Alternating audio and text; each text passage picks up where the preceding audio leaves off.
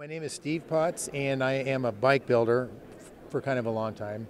I've been building bikes about 35 years, and um, had even had a uh, component company I started years ago with a couple of really good friends, and uh, did a lot of design work for a lot of big companies in the beginning years of mountain biking. And uh, this particular bike here, I usually work all in titanium. Now I've made uh, several thousand steel frames, but I've been building titanium frames for about 15 years. And I love the material. It's really strong, corrosion resistance, incredibly wonderful ride. And um, this bike here is a bike that's built for a customer. He's a gentleman that's a, uh, an engineer and he commutes to work on it. And uh, he's a six foot five guy that's 250 pounds.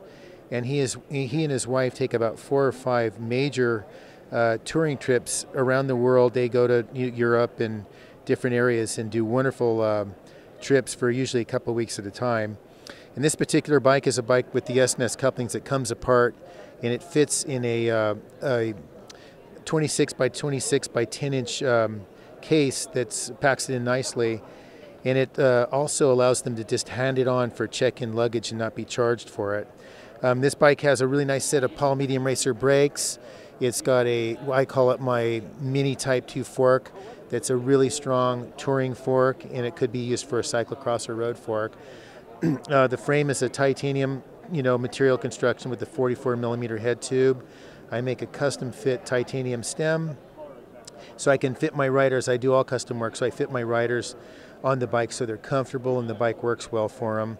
Um, it's uh, got rack and fender mounts front and rear, and this guy will ride this bike uh, probably till his end days. It's his.